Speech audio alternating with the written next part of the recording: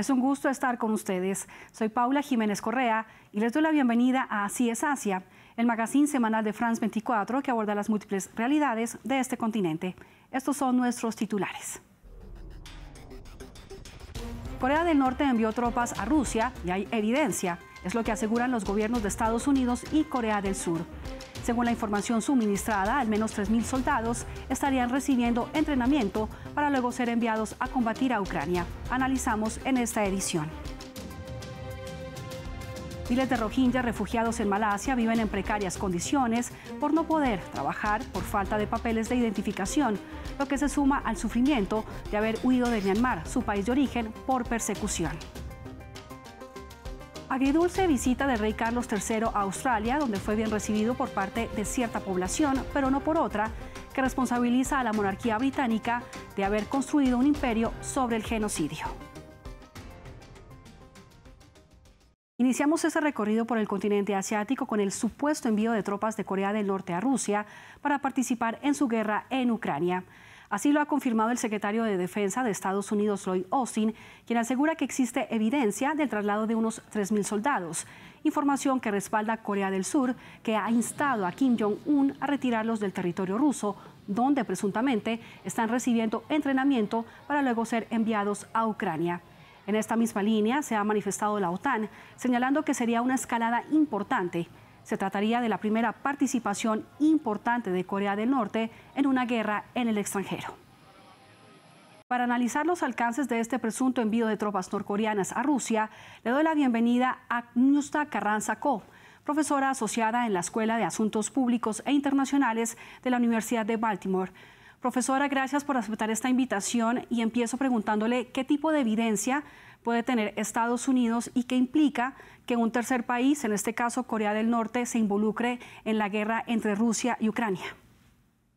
Sí, muchas gracias. Bueno, implica la posibilidad que se eleve más la guerra a nivel internacional. Hasta hoy en día, la CIA de Corea del Sur ha indicado que por lo menos 3.000 soldados norcoreanos han sido movilizados hacia Rusia y una complicación también de normas internacionales de sanciones.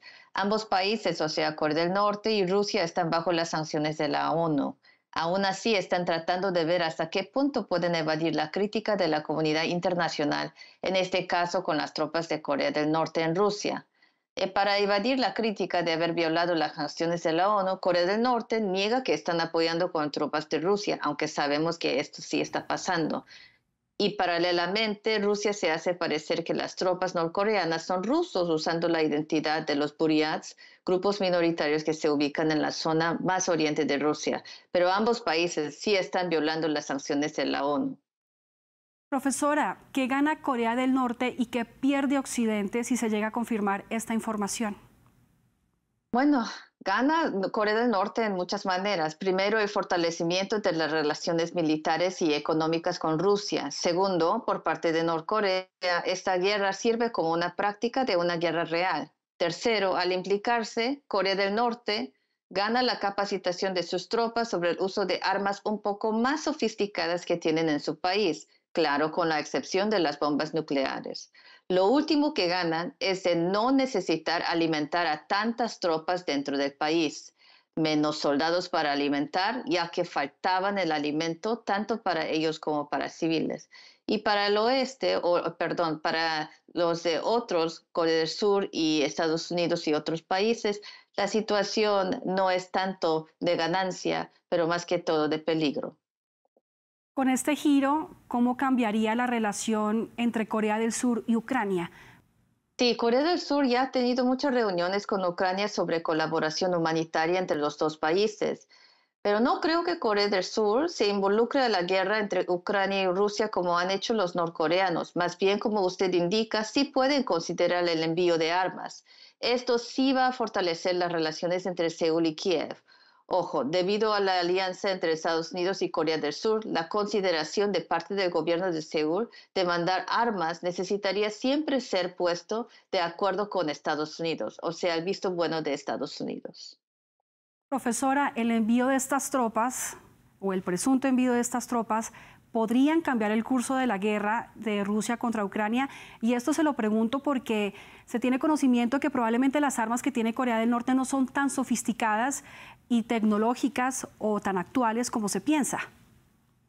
Sí, yo creo que voy a tratar de, bueno, con la respuesta que, que doy sería un poco distinto. Sí, y no al mismo tiempo. Sí en el sentido que Rusia tiene una manera de, de, continuar la guerra porque tiene tropas que podría ser enviado desde Norcorea. No en el sentido que las tropas norcoreanas aún necesitan ser entrenados y capacitados dentro de Rusia antes de ser mandado hacia la batalla, porque como usted ha indicado, las armas que tienen dentro de Corea del Norte no son tan sofisticadas, más bien de Rusia sí. Y otra cosa que es importante considerar es que las tropas norcoreanas han tenido dificultades de comunicación en términos del lenguaje, como dicen los medios de comunicación en Corea del Sur, con los de Rusia.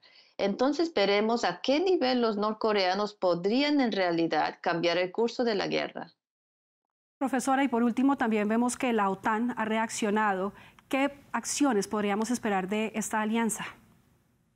La alianza, bueno, de la OTAN obviamente necesitaban responder a, lo que ha sido factible y las pruebas que han salido sobre las tropas norcoreanas dentro de Rusia. Pero lo que vamos a ver más que todo, muy probablemente yo también necesitamos pensar de las elecciones que están realizándose acá en Estados Unidos. Entonces, muy probablemente algún tipo de reacción que va a salir de Estados Unidos o de la OTAN va a ser más o menos dentro de una semana o dos en coordinación con las elecciones que se están dando en Estados Unidos.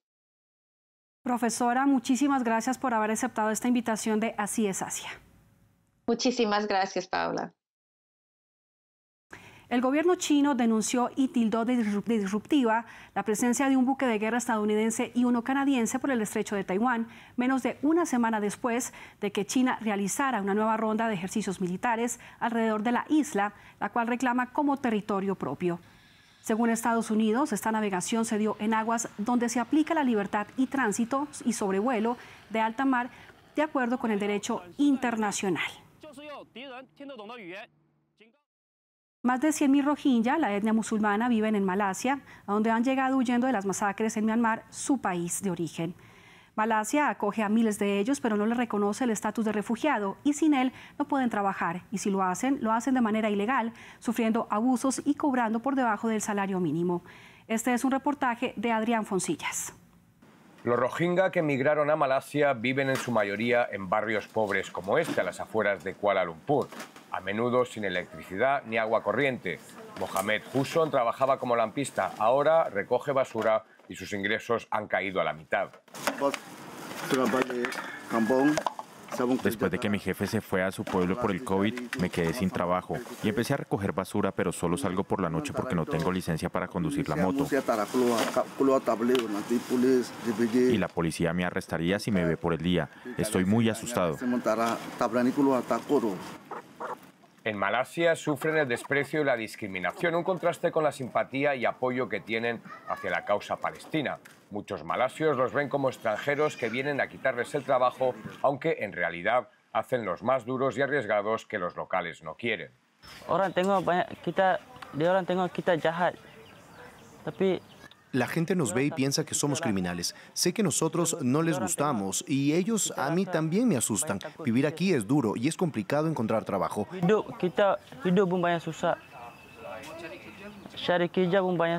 Incluso si hay trabajo, no nos contratan porque somos refugiados. Cerca de 100.000 Rohingya llegaron huyendo de Myanmar y pese a que no pueden ser refugiados, están agradecidos con Malasia. A diferencia de otras naciones, los recibieron las organizaciones que velan por sus derechos, son realistas, saben que obtener la ciudadanía es quimérico, solo piden que se les reconozca y que puedan disfrutar de dignidad y oportunidades. Esperamos que Malasia nos entienda y entienda nuestra situación aquí y que permita que nuestros hijos puedan ir al colegio y nuestros maridos puedan ir a trabajar. Es el drama Rohingya. No es ideal su situación en Malasia, pero nadie quiere regresar a Myanmar. Si no se hubieran marchado, dicen, ahora quizá estaríamos muertos. Vamos a Australia. Allí el rey Carlos III de Inglaterra estuvo durante una semana y fue homenajeado por autoridades del país y además participó en eventos públicos. Sin embargo, una senadora lo increpó y acusó de genocidio contra el pueblo indígena australiano. Nuestro corresponsal en Melbourne, Camilo Montoya, con los detalles. En su primera visita a Australia como monarca, el rey Carlos III recibió apoyo y cariño, pero también rechazo y protestas. Su estancia de seis días con la reina Camila ha sido celebrada por multitudes. Al mismo tiempo, ha reabierto heridas y revivido el debate de si Australia debe dejar de ser una monarquía constitucional para convertirse en una república. En el Parlamento Federal, en Canberra, la capital, la senadora indígena independiente Lydia Thorpe irrumpió en la recepción oficial y le gritó a Carlos que esta no es su tierra, que él no es su rey, que ellos, los británicos, cometieron genocidio y pidió un tratado. En otro momento, cuando los monarcas asistían a una ceremonia en una iglesia de Sydney, afuera algunas personas tenían pendones y camisetas con mensajes como bienvenidos a casa sus majestades, mientras otras decían un imperio construido sobre el genocidio, descolonización y abolición de la monarquía. En un referendo en 1999 los australianos votaron no a la propuesta de convertirse en una república. El primer ministro y líder del Partido Laborista, Anthony Albanese, quiere que el país sea una república con un jefe de Estado australiano, pero no convocará un referendo en su actual mandato de tres años. Sin embargo, si su partido de centro izquierda gana las elecciones del próximo año, podría haber una consulta popular en su segundo periodo. La oposición de línea conservadora respalda la monarquía. El rey Carlos, de 75 años, ha expresado que la decisión está en manos del pueblo australiano. Y para el cierre les dejo estos datos. Bangladesh se encuentra en el sur de Asia, cuenta con más de 173 millones de habitantes, lo que lo hace el octavo país más poblado del mundo. Su nombre significa país de Bengala y por ello el tigre de Bengala es su animal nacional. Llegamos al final de esta edición de Así es Asia. Los invito a que dejen sus comentarios en la cuenta de X que aparece en sus pantallas y a visitar nuestra página web france24.com. Recuerde que el programa también está disponible como podcast en su plataforma de audio favorita. Y no olvide nuestra cita semanal.